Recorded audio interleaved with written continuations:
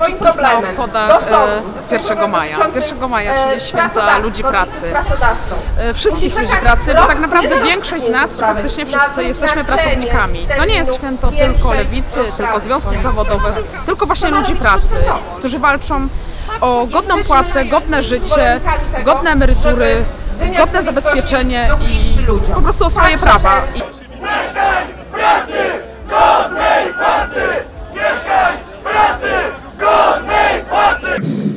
To był trudny rok dla pracowników, bo po raz pierwszy od lat płace realne spadały i to mocno. Płace realne, czyli te prawdziwe płace. Te, którymi płacimy w sklepie, w którym jest coraz drożej. Te, którymi płacimy za czynsz, który rośnie. Ale kiedy miliony polskich pracowników biedniały, bo przez ostatni rok biedniałem, to byli ci też tacy, którym wiodło się wyśmienicie bo kapitał na tym roku drożyzny wyszedł wyśmienicie. Spójrzcie na zyski, spójrzcie na marże. One wszystkie poszły w górę. Tak, musimy podnieść płace w budżetówce, ale płace muszą wzrosnąć w całej polskiej gospodarce. Bo polski pracownik pracuje dzisiaj niemal najdłużej w Europie, ale dostaje dużo, dużo mniej niż jego koleżanki i koledzy z innych krajów. I to się musi zmienić. To jest skandal, że z tego tortu, z tego co wszyscy wypracowujemy, polski pracownik dostaje dużo mniej niż pracownik niemiecki, niż pracownik francuski, niż pracownicy z tych krajów, w których ruch pracowniczy jest silniejszy. Polskie płace mogą wzrosnąć i powinny wzrosnąć, ale żeby wzrosły, potrzebujemy, żeby więcej ludzi było zorganizowanych w związki zawodowe. Polskie państwo musi wziąć odpowiedzialność, realną odpowiedzialność za warunki pracy. A Polska Inspekcja Pracy musi dostać prawdziwe narzędzia. Takie narzędzia, jakie mają inne służby mundurowe. Takie narzędzia, które spowodują, że to nie pracownik będzie się bać, że będzie się bać ten, kto narusza podstawowe prawa pracownicze. I do tego także musimy doprowadzić jesienią.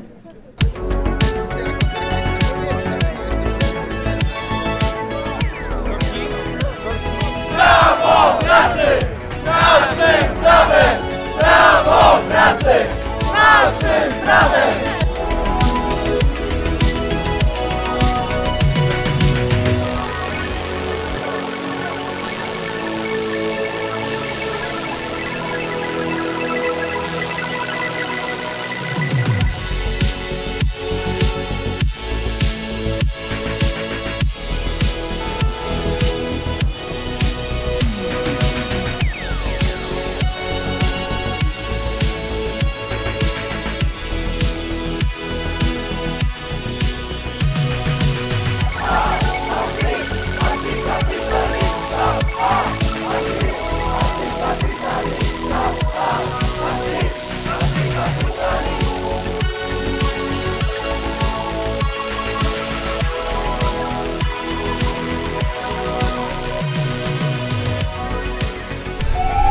Przy okazji 1 maja pozdrawiamy oczywiście wszystkie centrale związkowe, wszystkie związki, które tutaj są, Ogólnopolskie Porozumienie Związków Zawodowych, Konfederację Pracy, Inicjatywę Pracowniczą, po prostu wszystkich dobrych związkowców walczących o prawa pracownicze z pracownikami, pracowników zorganizowanych w związki. Zakładajcie związki, wspierajcie związki.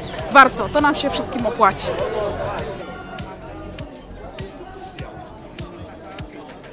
Prawo i Sprawiedliwość wychodzi i mówi, my tutaj więcej dla ludzi, więcej dla ludzi, to nie jest kwestia Unii. I co? Wszystkie poprawki, które wychodziły poza to, co było w dyrektywie, PiS tego nie wdrażał, bo są tchórzami, bo się boją sensownego, dobrego rynku pracy, silnego pracownika, bo ich po prostu pogonią.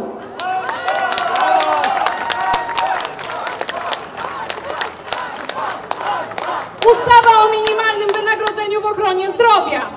Co się dzieje? Pielęgniarki zaszeregowane nie do tej kategorii, pracownicy niemedyczni, salowe, sanitariusze są, e, mają teraz bardzo ciekawe nowe stanowiska, na przykład pracownicy higieny szpitalnej albo pracownik gospodarczy, żeby nie obejmowała ich ustawa o minimalnych. Idę do ministra Brombera, co mi mówi? Do sądu państwo nie pomoże, mimo że mogliby to poprawić jedną poprawką.